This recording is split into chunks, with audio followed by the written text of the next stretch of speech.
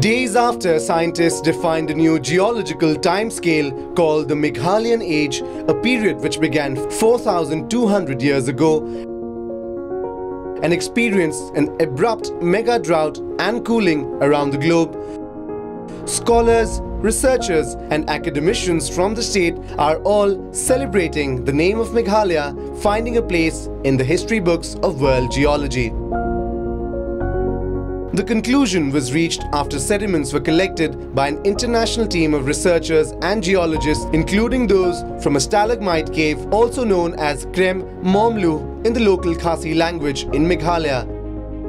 Help define the smallest climatic event in Earth's history. Scientists have found the clearest chemical signals for a transition into the Meghalayan age in the stalagmite formations that have been found in the cave and this indicates that the new age indeed began 4,200 years ago. Now that an entire age would be named after Meghalaya, Northeast Live spoke to academicians, lecturers and even the public and this is what they had to say. This is really interesting and uh, exciting actually for all Meghalayans. Uh, to, to name a whole age uh, of the, in the geography, the history of the earth, the evolution of the earth, in the name of uh, Meghalaya certainly is a matter of excitement and a matter of joy for every Meghalayan.